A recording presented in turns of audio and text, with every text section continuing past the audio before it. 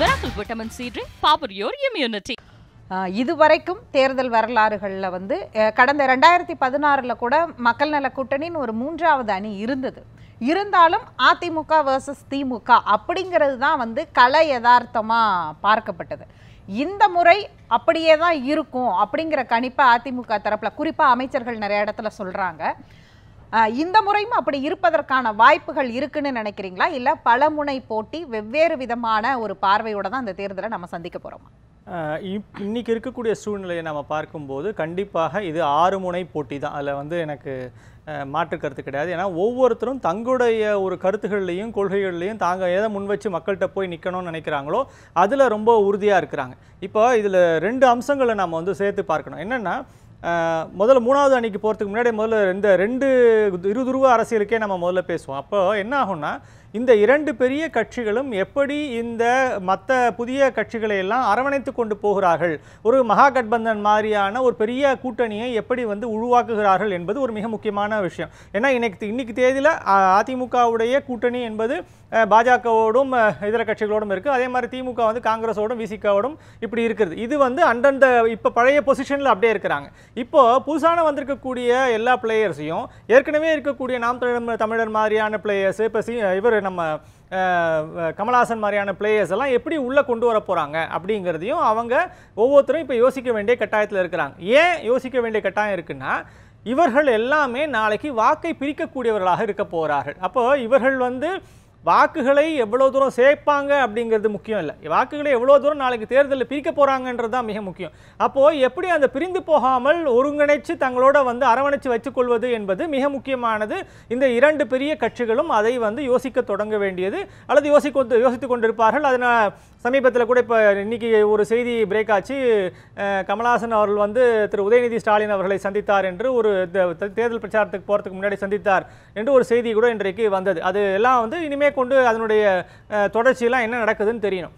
இது முதல் பகுதி. ரெண்டாவது பகுதி ஒருவேளை அந்த மாதிரியான ஒரு இரு துருவ அரசியல் உருவாகவில்லை என்றால் இப்போ மூன்றாவது ஒன்று நடக்கணும். அப்போ மூன்றாவது நடக்கிறதுக்கு எக்ஸிஸ்டிங்காக தங்கள் வாக்குகளை நிரூபித்த கட்சிகள் இப்போ நாம் தமிழர் மாதிரியோ இல்லை வந்து கமலஹாசன் மாதிரியோ இருக்கக்கூடிய கட்சிகள் இப்போ ரஜினிங்கிறது இன்னும் நாட் எட் ப்ரூவ்டு பட் அந்த மாதிரியான தேர்தலுக்கு இப்போ தான் வரப்போகிறாரு அப்போது இந்த மாதிரியான கட்சிகளை எல்லாம் ஒருங்கிணைக்கக்கூடிய ஒரு தலைமை பண்போடு அங்கே வந்து ஒரு இப்போ நீங்கள் மக்கள் நல கூட்டணியை நீங்கள் எடுத்துக்கொண்டீங்கன்னா அப்போ நீங்கள் நினச்சி பார்த்தீங்கன்னா உங்களுக்கு தெரியும். அப்போ வந்து திரு வைகோ அவர்களோ திரு திருமாவளவன் அவர்களோ எல்லாரும் அந்த முத்தரசன் அவர்களோ எல்லாம் சொந்த சந்தித்து சந்தித்து பேசி பேசி தான் அந்த மக்கள் நல கூட்டணிங்கிற ஒரு ஐடியாவே உருவாக்கினாங்க. அப்போது அந்த மாதிரியான ஒரு ஐடியாவை உருவாக்குறதுக்கு இவங்களுக்குள்ள அடிப்படையான ஒரு இணக்கம் ஒன்று தேவை. இதில் யார் முதல்ல வந்து முன்கை எடுத்து அந்த மாதிரியான ஒரு விவாதத்துக்கோ இல்லை அந்த மாதிரியான ஒரு கூட்டமைப்புக்கோ உருவாக்குறதுக்கான ஒரு முயற்சி இவங்க யாரும் செய்யணும்.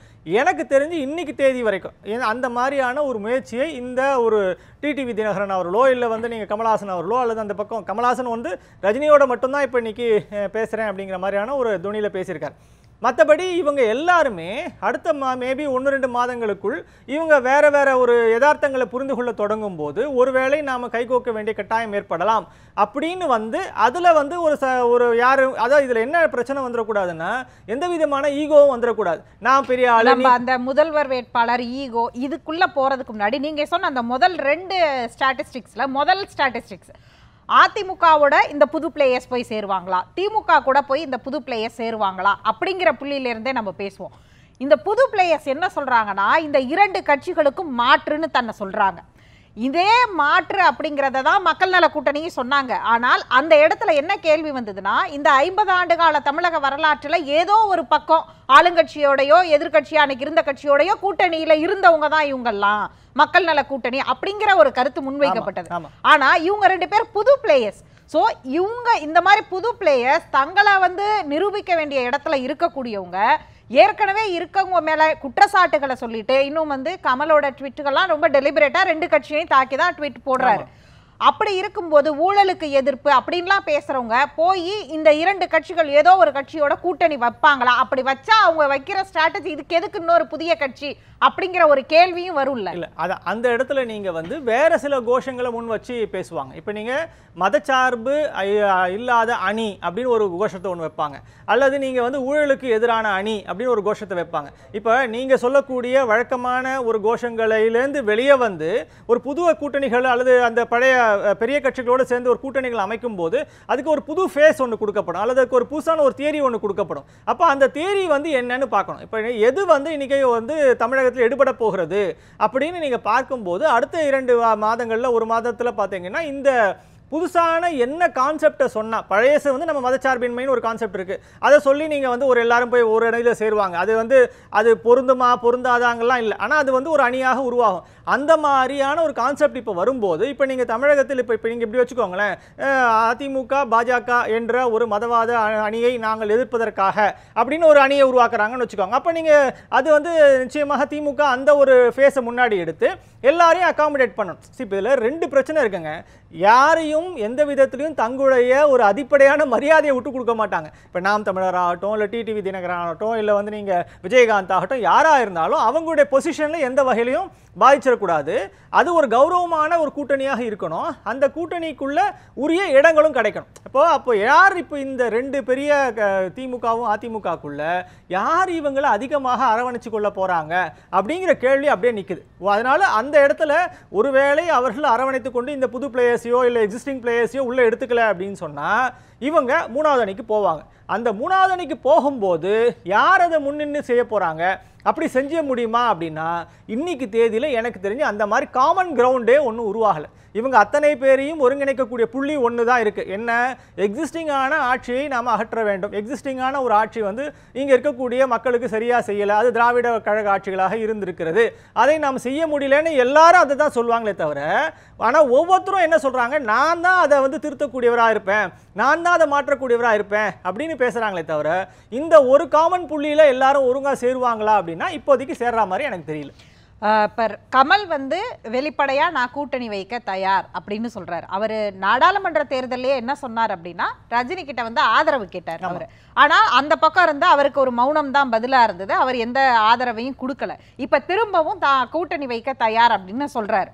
இது ஒரு பக்கம் இவர் வந்து தன்னையே முதல்வர் வேட்பாளரா இவங்க கட்சி மூலமாக தேர்ந்தெடுக்கப்பட்ட ஒரு நபர். அவர் என்ன சொல்றாரு ரஜினி அப்படின்னா ஒரு இளைஞரை வந்து முதல்வர் ஆக்கணும். அப்படிங்கறது அவர் கடைசியாக பேசிய பேச்சிலிருந்து நான் அந்த இதை முன்வைக்கிறேன். அப்படி சொல்லும் பொழுது இதுவே முதல்ல முரணா இருக்கும். இந்த இரண்டு பேரும் சேர்ந்தால் கூட இந்த மக்கள் நீதி மையமும் நாளைக்கு ரஜினி ஆரம்பிக்க போற அந்த எக்ஸ் அந்த கட்சியோ இந்த உள்ளர இருக்கக்கூடிய தொண்டர்கள் ஒன்றிணைந்து வேலை செய்வாங்களா? அப்படிங்கிறதெல்லாம் மூன்றாவது அணி உருவாவதற்கான பேஸ் அங்கிருந்து தானே ஆரம்பிக்கும். அந்த பேஸ் இருக்குன்னு நினைக்கிறீங்களா? பேசிக் ஃபார்முலா இதுக்கு ஒர்க் அவுட் ஆகும்னு நினைக்கிறீங்களா? ஒரே ஒரு புள்ளி இருக்கு. என்ன? இருக்கக்கூடிய ஆட்சியை மாற்ற வேண்டும் அப்படிங்கிற ஒரு புள்ளியில என்ன எல்லாரும் ஒன்றா சேருவாங்களா அப்படிங்கிற கேள்விதான். அப்போ அந்த ஒரு புள்ளியில் சேர்றதுக்கு தான் இவங்க எல்லாம் முயற்சி பண்ணுவாங்க. ஆனால் என்ன ஆகும்னா இப்போ நீங்கள் கமல் அவர்களையோ இல்லை ரஜினி அவர்களையோ நீங்கள் எடுத்துக்கோனா இப்போ கமல் வந்து சமீபத்தில் இன்னொரு தொலைக்காட்சிக்கு கொடுத்த ஒரு விரிவான பேட்டியில் பார்த்தீங்கன்னா அவர் வந்து ரஜினியோடு சேர்ந்து பணியாற்றுவதற்கான ஒரு ஆசையை தன்னை வந்து வெளிப்படுத்துகிறார் மிக தெளிவாக வெளிப்படுத்துகிறார் அவர் வந்து ஒரு ஜூனியர் பார்ட்னராக கூட போய் நீங்கள் ரஜினியோட போயிடுவார் போல இருக்கு. அந்த மாதிரியான ஒரு மனநிலையோட தான் அதுல பேசுகிறார் ஸோ அப்போ அவரை பொறுத்த வரைக்கும் நீங்கள் வந்து ரஜினியோடு சேர்ந்து வந்து பணியாற்றும் போது ஒரு பெரிய அளவில் தமிழகத்தில் பாதிப்பை கொண்டு வர முடியும் ஏற்படுத்த முடியும்னு அவர் நம்புறாருன்னு நல்லா தெரியுது. அது வந்து கமலஹாசனுடைய ஒரு பக்குவமான நிலையை என்னால் புரிந்து கொள்ள முடிகிறது.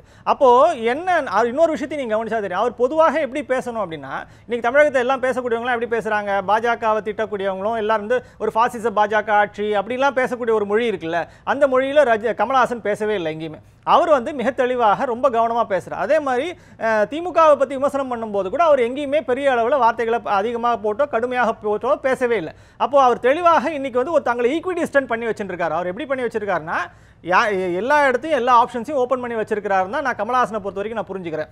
அப்போ என்ன நடக்கும் அப்படின்னு சொன்னா இந்த இந்த மாதிரியான ஒரு ட்விட்டர்ல அவர் ஹார்ஷான அது பயன்படுத்துறாரு. இல்லைங்க இப்போ நான் சமீபத்தில் நான் அவருடைய பேட்டிகள் அல்லது மேடை பேச்சுகள் எல்லாம் நான் தொடர்ச்சியாக ஃபாலோ பண்ணும்போது அந்த மாதிரியான ஒரு கடுமையான ஒரு நேரடி விமர்சனங்களை வைக்கல. அது நல்லதும் கூட. நான் என்ன சொல்றேன்? இன்னைக்கு பாசிட்டிவான ஒரு விமர்சனத்துக்குள்ள இறங்கியிருக்காங்க எல்லாரும். நான் கமல் உட்பட ரஜினி உட்பட இன்னைக்கு வந்து வேறு விதமான ஒரு அரசியல் உருவாது. அதை நான் ரொம்ப முக்கியமா வரவேற்கிறேன். ஏன்னா அடுத்தவங்களை குறை சொல்லி தங்களுக்கு வந்து வாட்டு வாக்கு வாங்குறதுங்கிற ஒரு முறை இருக்குல்ல அதுலேருந்து இவங்க விலகி வராங்க. இந்த புதிய பிளேயர்ஸ் அது ரொம்ப முக்கியம்னு நான் கருதுறேன். அது எப்படி வளர்ந்து வருதுன்னு பார்க்கணும். ஆனா எந்த இடத்துல அவங்க குறை சொல்லலன்றீங்க? இவங்க ரெண்டு பேர் ஆட்சியில ஊழல் இருக்கு அப்படின்னு சொல்றாங்க. அது ஆட்சி மாற்றம் அரசியல் மாற்றம்னு ஒரு முழக்கமேங்கிறது இங்க இருக்கக்கூடிய ஆட்சி சிஸ்டம் சரியில்லைங்கிறது இது ரெண்டு பேர் பேசக்கூடியதுமே இந்த இரண்டு பிளேயர்களை ஏற்கனவே இங்க இருந்தவங்கள விமர்சிக்கிறது தானே? இல்ல விமர்சனம் வேறங்க. அஹ், கடுமையா பேசுறதுங்க நம்ம மேடை பேச்சு நிறைய கேட்டிருக்கோம்.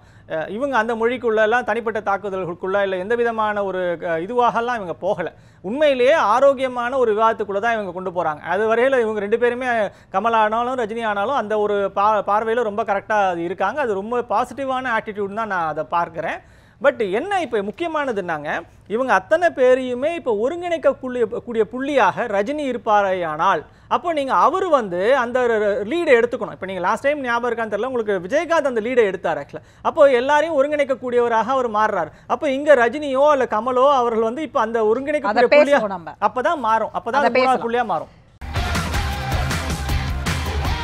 Vitamin C drink power your immunity News seven Tamil தொலைக்காட்சியை talk TV SCB TCCL VK digital Aadhaar jack TV Akshaya digital ஆகிய cable கனெக்ஷன்களிலும் Airtel Tata Sky Sun Direct ஆகிய டிடிஎச்கள் உட்பட அனைத்து முன்னணி கேபிள் கனெக்ஷன்களிலும் காணலாம்.